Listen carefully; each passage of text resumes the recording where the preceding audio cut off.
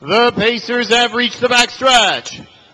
And they are underway. Quick start there for McSana. She's out by a long neck. On the outside, firing up there is Moonlit Dragon. And Moonlit Dragon, the aggressor here. Also coming up on the outside, Economy Terror. McSana tight on the inside third. Marty Party following the flow. Inside fifth, Destiny's Chance. Then Frontier Pan. At the back there are Robin Cruiser and Section Line Yankee. And now they're coming after the lead there of Moonlit Dragon. They swoop by 26 and 1. We're going to have another fast mile here and hooked up at the top. Marty Party on the outside. Economy Terror on the inside. The uh, top two fillies here in the betting. Marty Party, a track record last time she was here, is now clear by two. Economy Terror is unbeaten in Pennsylvania and will work from the pocket. Moonlit Dragon, who led earlier, back to third. McSana is fourth. Then comes Destiny's Chance to the outside there. Robin Cruiser, the back Frontier Pan, and Section Line Yankee to half 55 and 2.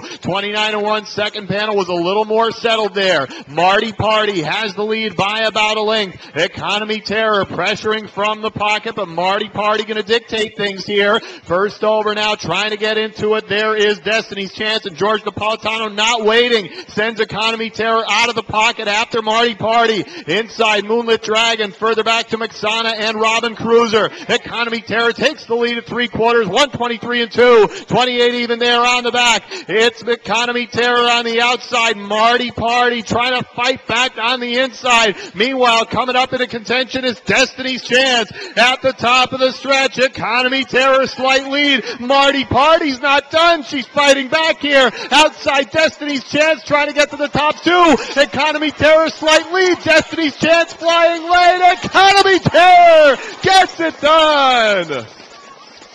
Destiny's Chance second. It was uh, looked like uh, Marty Party third and Robin Cruiser fourth. And how about another track record matching a world record for the four Economy Terror 151 and one. My my.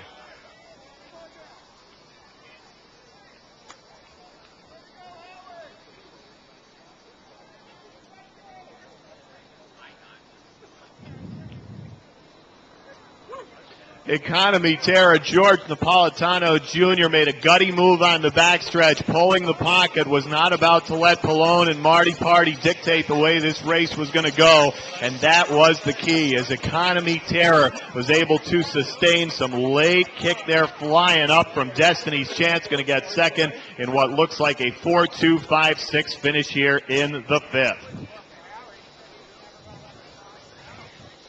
Judges have posted the unofficial order finished for the fifth. Number four, Economy Terror finished first. Number two, Destiny's Chance finished second.